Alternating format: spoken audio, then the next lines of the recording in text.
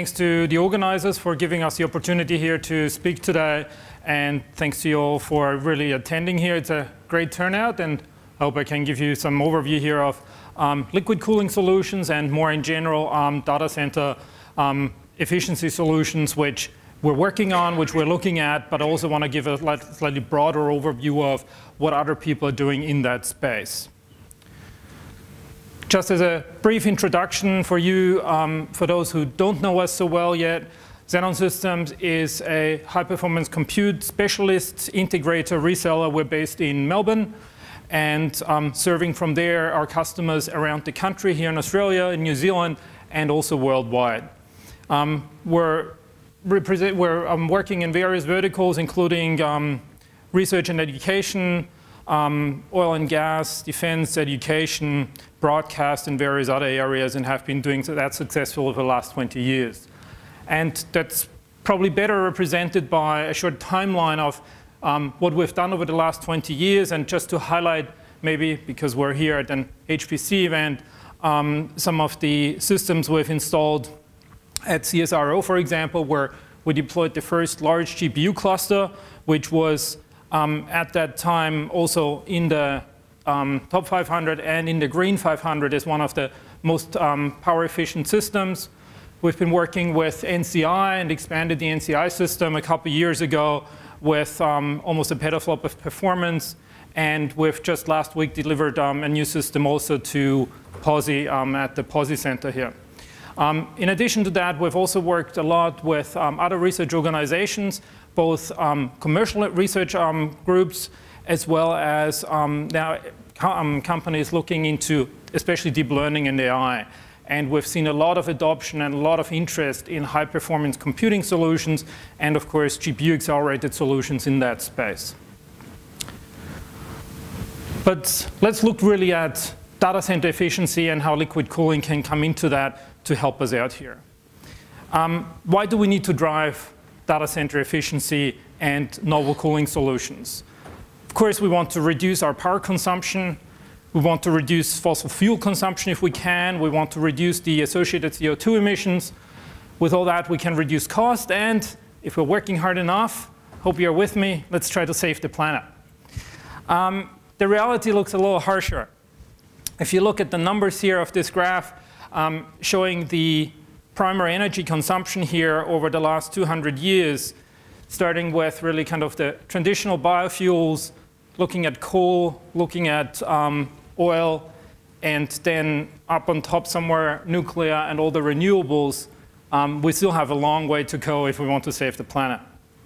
But it gets worse. The computing requirements are growing tremendously. And they're actually growing so quickly that if we're not careful, and this is a prediction here from um, a few years ago, that the power consumption from um, computing will actually outstrip the power production on the planet. That's obviously not sustainable and that's not going to work and um, not going to happen that way. So we really have to look at how can we improve the efficiency of our systems. Today, in the data centers, what we have there, and of course going forward. And there were already a few interesting presentations today um, alluding to big performance gains which can be made and big um, power reductions in that space, which we really need if we want to go, get, continue going on the path we're on. The current trends and demand are really the big challenges here. If you look at some of the data here from the last 42 years um, collected by various groups, including from my alma mater, um, one of the challenges really is that single thread performance increases, as we can see, is kind of slowing quite dramatically. The number of logical cores in our equipment is going up. Well, that's really how we're keeping the performance gains up and how we keep Moore's law going. Um, power efficiency gains per core are really becoming slower too because our power consumption is kind of flattening out, and we'll get to that, why that is and our single thread performance is, is flattening out. So really our um, power consumption per thread is, is um, flattening out. But overall, the power per socket is increasing dramatically because the number of cores is going up.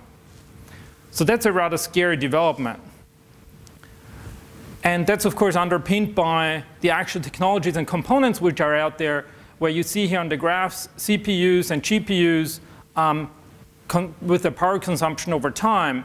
And we've been somewhere in the range of 120, 150 watts on the CPU side. And right now, in the latest generation Cascade Lake AP CPUs, we're going up to 400 watts per package. And similarly, on the GPUs, were traditionally somewhere in the order of up to 250 watts because that was essentially what was feasible based on the power um, availability in the server systems. We've gone up to 300 watts with the SXM2 um, V100 modules. And um, of course, that then scales up as we go to larger systems. If you want to squeeze more performance out of your systems and you look at overclocking, things get even grimmer. This is an interesting graph here from Tom's Hardware where you can look at the numbers for overclocked CPUs. We're already now on a Xeon Workstation CPU. When you drive it from somewhere about 3.7 gigahertz, I think, up to 4.5, we're already going north of 500 watts. We're going here up to 700 watts per socket. So the real challenge is now we, of course, want more compute we need more performance, we want to, to run bigger models, we want to run them faster, but how, we actually, how can we actually keep those running without um, cooking the, the systems? That's one part of the equation, the component side. Overall, a, at a higher level in the data center, we have, of course, similar problems where all of this comes together, where power density per rack increases, and so this is here a projection for um, 2025 where the power consumption per rack could be. We're typically in commercial data centers now somewhere in the order of six to high, um, high density racks or 10 kilowatts probably per rack. The expectation is that we're going up to 20 and there could be somewhere a median of 40 kilowatts per rack. And um, there are designs to go up to 80 and 100 kilowatts per rack or let's say per rack unit. And the question is how are we going to handle that? Of course, at the same time, we need to look at um, keeping an eye on cost. And if we're looking here where we're in Australia, um, we're here in the upper third of power costs, which of course is also a challenge for, the, for those who have to run big systems in data centers, either commercially or for HPC centers. So what are we, how can we quantify where we're at and what we want to achieve?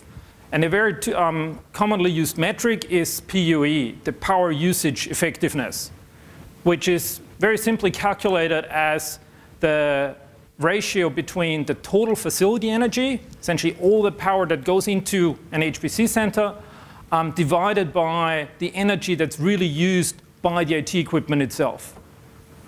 So if I just look at the ratio between the non-facility and the facility and the IT energy, this is really kind of what I'm interested in.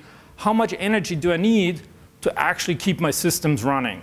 And that includes all the overhead of the systems, including power conversion losses, including the cooling, of course.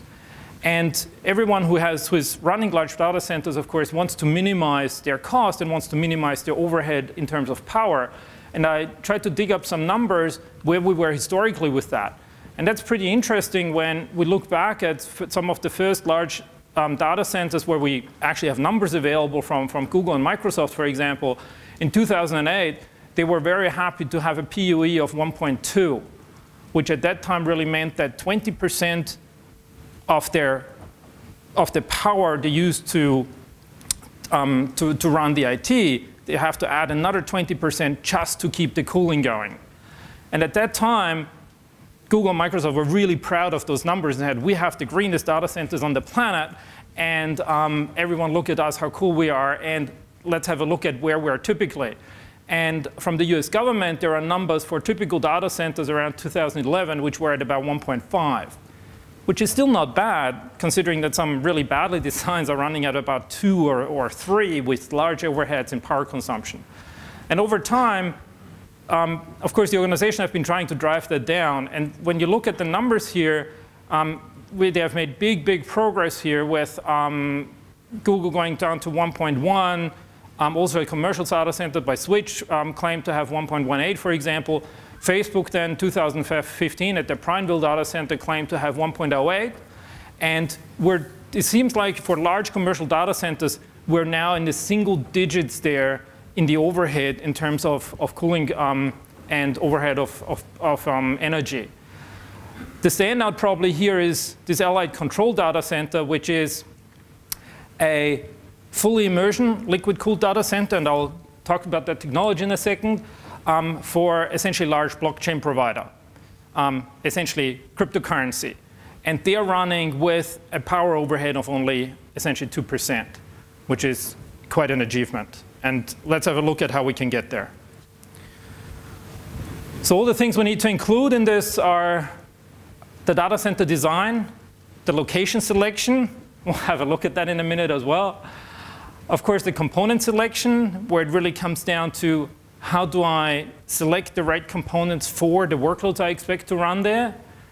Um, then also improved component design, where we of course see a lot more offload designs to other components. We see, as we have it already on the phones, ideas of, about um, big little designs, where we have now specialized cores to run different workloads to optimize our um, power usage. Of course, we should also look at developing smarter algorithms.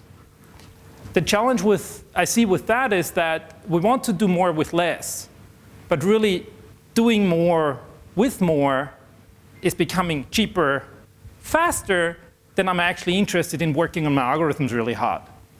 But if we want to make this sustainable and have really energy efficient systems in the end, this is something we need to look at and keep in mind.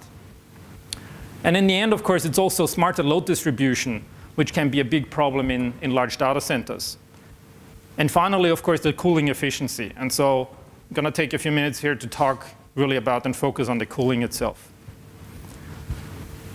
For liquid cooling, there's a lot of options which we can either apply already today and retrofit to our systems and data centers, or which we want to design in, of course, in upcoming solutions.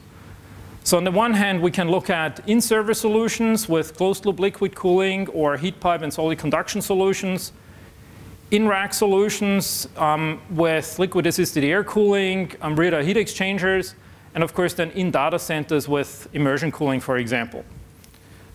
So let me take a closer look at some of these.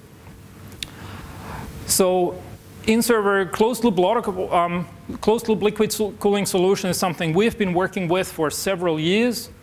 Um, we have a lot of experience in that space, especially for our high-frequency trading servers, where we're overclocking um, desktop class CPUs um, up to 5 and 5.2 gigahertz in sta industry standard chassis which go into data centers around the world. And the only way we can really manage the powers, and when we look at the, the CPUs we're running, we're also running them at um, 250 watts or something like this, even though they are really designed um, at base clocks to um, something like 170 watts. The only way we can handle that is with closed-loop liquid cooling, um, where we have a cold plate, um, which is attached directly to the package, we have the, um, the pump assembly on top of that. We're pumping the liquid um, here through the tubing into a large heat exchanger, where that heat, exchanger is obviously the biggest we can possibly fit into the package. Where in our case, for a standard 1U um, rack unit server, that heat exchanger is covering almost the entire width of the system. So that has proven a very efficient way to keep the um, cooling requirements of the CPUs in check and be able to run them at these high powers. Um, of course, we can also look at passive cooling solutions. The advantage of that, and we've looked into that a little bit as well, is that we can avoid active parts. We don't have any, any um, pumps in there which can fail. And we can cover longer distances. And we can have then also very large condensers for efficiency. And in principle, the idea is the same, that you have a um, a cold plate with the evaporating um, area here on top. You have the liquid coming through. It evaporates essentially in the, in the tubing here. And then just um, because of the, the gas formation, pumps itself then through the heat exchanger. It condenses there and then comes back through the tubing again. and also in some of the OEMs in their commercial solutions in order to be able to integrate very high power CPUs. But the, um, the heat sinks on top of the CPUs cannot be designed, be designed far enough, big enough. That's also a way to just get the, the heat from the CPU package into an area where you can have then a larger heat sink, a larger heat exchanger essentially. And so that's already being applied in, in commercial OEM solutions today as well. Of course, we can also look at retrofitting existing systems. And um, if you've been to the Pawsey Center yesterday, or if you're going tonight, there's, of course, um, lots of examples there where um, heat, heat exchangers are in use. And we've also equipped the, the racks we installed at NCI a couple years ago with the rear door heat exchangers, where the advantage is that we can use standard servers um, in the rack, and then we just have a large heat exchanger in the back which essentially takes out all the heat from the exhaust air from the servers, and then we can go into facilities plumbing to, to get the, um, the water in and out of the, the rear door heat exchangers.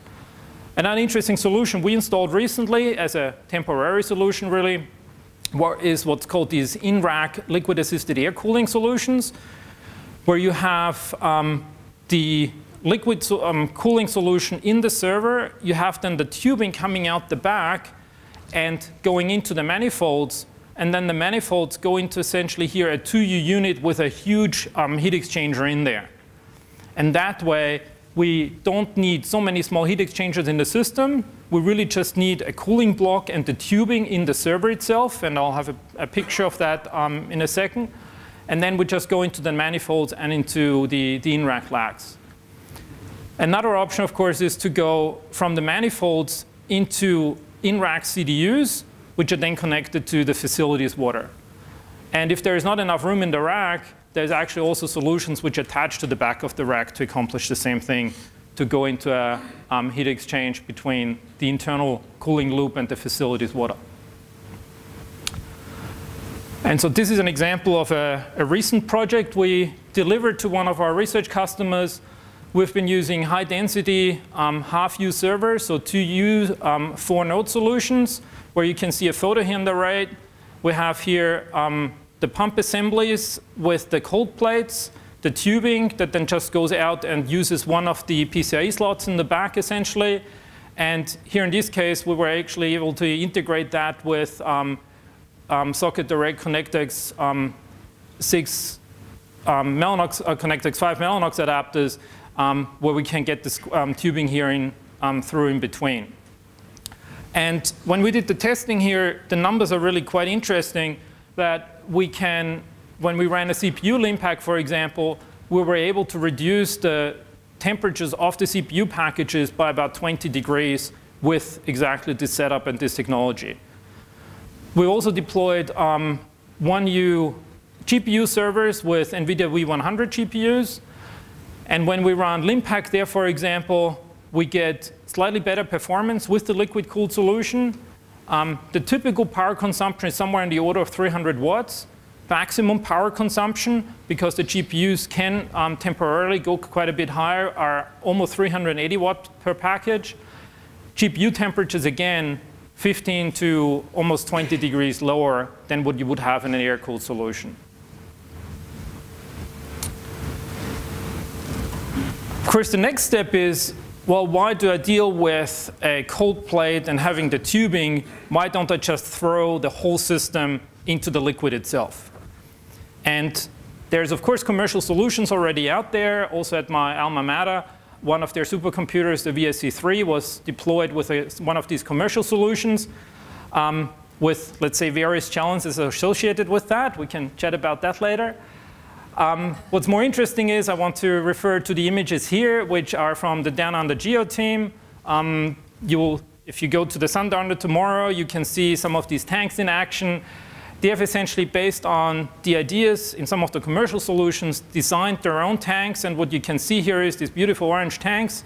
You have the servers sitting here in what's essentially baby oil. It's really good for your hands when you work there. I can recommend it. Um, and that's essentially a completely passive solution as well. There's a, there's a big heat exchanger sitting here on the side with water in, um, cooling water in and out. And it's really just natural convection which cools the liquid here near the heat exchanger. It flows down to the bottom, um, distributes at the bottom of the tank, and then um, gets heated up here over the servers, and then comes out the top. Um, I'll just refer to Stuart's presentation tomorrow and to your visit to Down Under Geo, then you can see all the details there. So they have implemented this at a large scale already in the data center in Houston, but there's also from various other um, OEMs um, solutions available um, based on the same principle. Really the advantage of what we call the single phase immersion because you're just using the liquid phase of, um, of the liquid here the advantages are you can essentially reduce the number or completely eliminate fans because in order to get the systems in, you have to take off all the fans, you have to remove um, essentially all the heat sinks typically, and you then have to update your BIOS to make sure that the BMCs and the BIOS don't go crazy when there's suddenly no fans and they think they're not cooled properly. Um, what's also really nice, and you'll see this tomorrow also Down Under Geo, the data center temperature and the humidity can increase, and they're really comfortable it's actually really nice and balmy and warm in there. I like working in those data centers a lot better than in conventional ones. And what's really amazing is also that those data centers are completely quiet, except for the switches, which are still largely outside. And I think the Mellanox team is looking into if they can get the switches into the tanks as well. And um, some of the storage systems where some of the hard drives don't like it so much when they are in, in the liquid. But that's another story to look into. Otherwise, it's very, very quiet in there. Overall, a huge power reduction, cost reduction, and what's really interesting is that reliability actually increases, which has to do with reduced corrosion, because now, now suddenly all your traces, all your cables, everything is essentially in oil.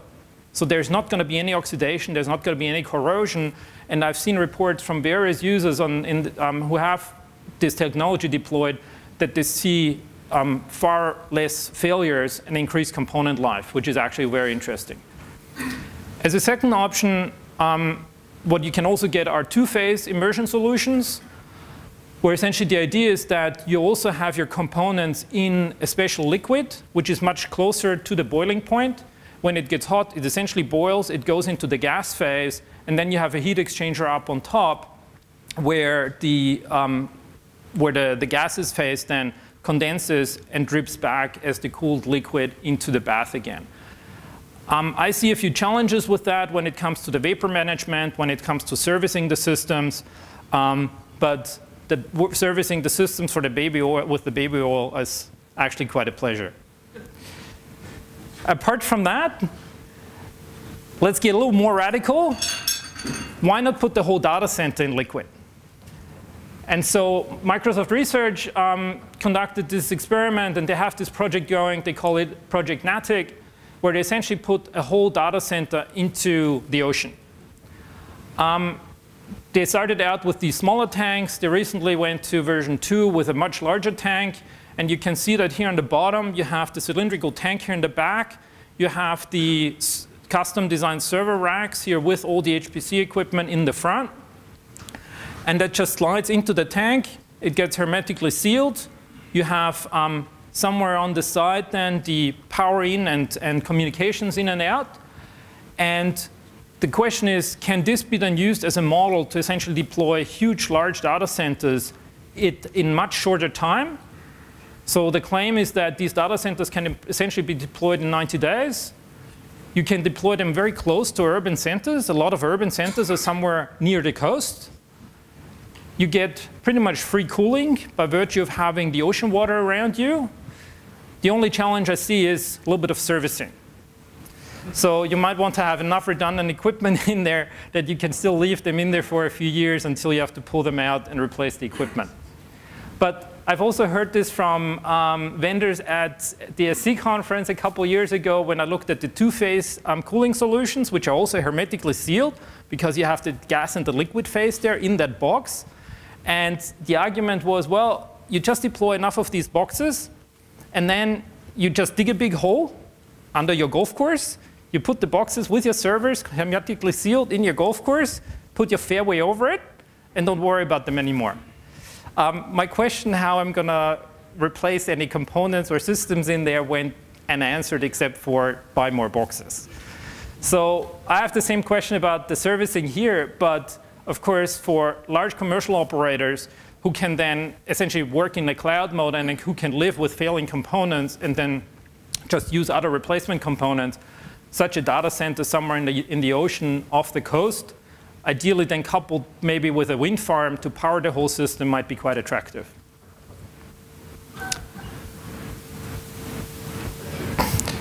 And I'll just want to leave you with a more realistic view of what else we can do to drive um, data center gains. And I want to give you an example here in a second as well.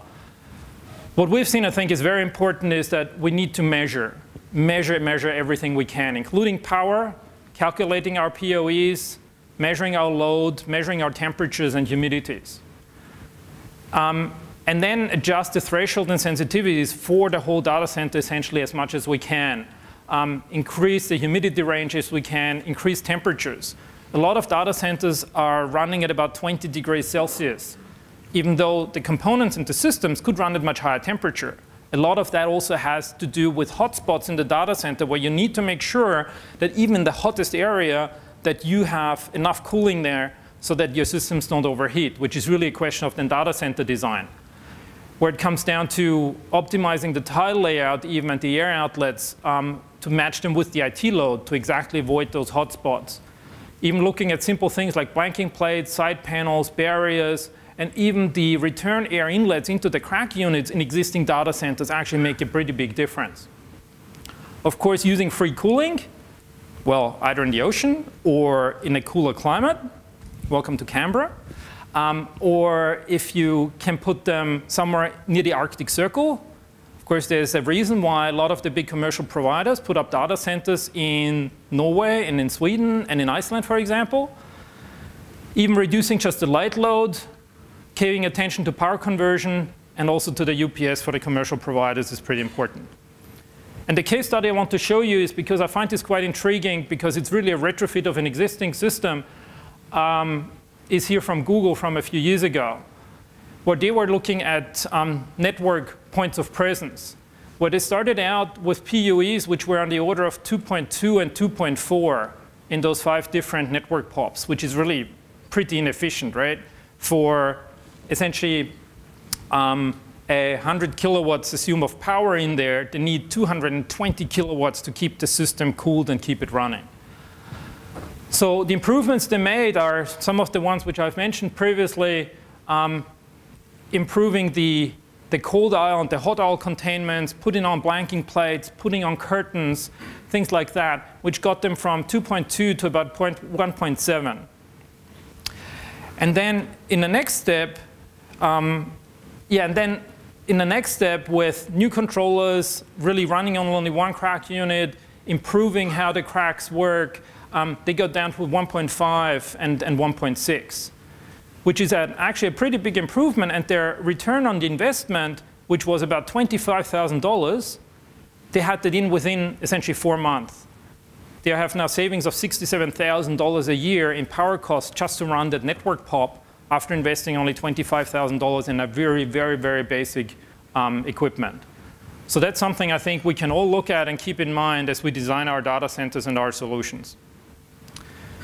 So with that, let me get to my, the end of my presentation and the conclusion. So I hope I've been able to show you that, some of the benefits of liquid cooling, um, including reducing the fans, reducing the air cooling components, um, redesigning essentially the whole data center, reducing power and therefore also reducing cost, which can be quite significant for large systems, where we need more power, we can drive the systems harder, we can drive the CPUs harder, and um, turbo or overclock them.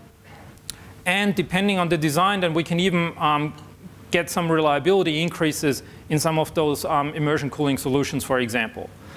I've not talked about some of the other interesting approaches here, of course, with using the waste heat for um, heating buildings or um, using other technologies to convert heat again into power or cooling technologies like with um, Zeolite and other things which offer even further gains um, that can be made.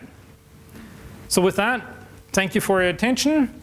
Um, I'll leave my contact details here and we have a stand outside so feel free to stop by anytime and have a chat. if you have any other questions. Otherwise, I'll open for a few questions now before we break for lunch. Thank you.